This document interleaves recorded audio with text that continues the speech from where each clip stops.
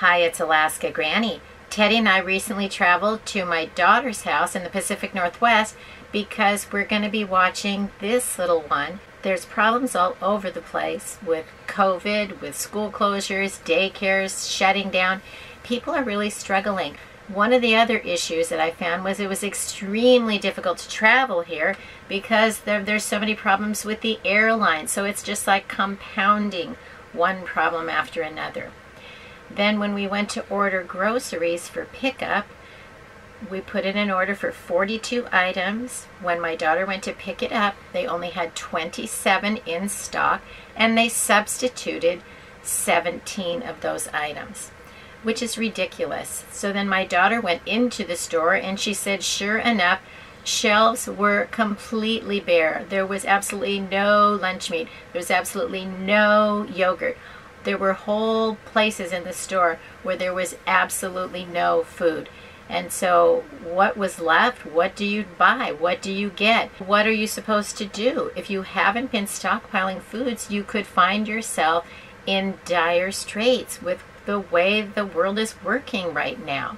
If you don't have food on hand, make sure that you are keeping track of what's going on where you are.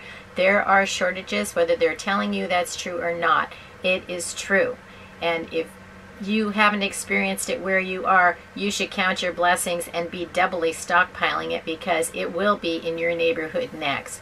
People leave comments on my channel that there are no shortages where they are and this is fear mongering and I don't know where they live or if they're even going to the store, but my experience and those all over the country are telling you the truth.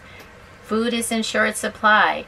Things are costing more. Variety of the choices you have is diminishing. We are entering some very challenging times. So take this time to stock up what you can, look over what you have, make sure you're not allowing anything to go to waste. Figure out how to use the things you have. What can you add to those things to make them more useful so that you have ways to make meals with all of the foods that you have it seems complicated when you go to the store and there are very few things and maybe we're buying random things and we don't really know what to do with them. Try to make a plan of what you can do with them, how you will use them before you buy them and take them home.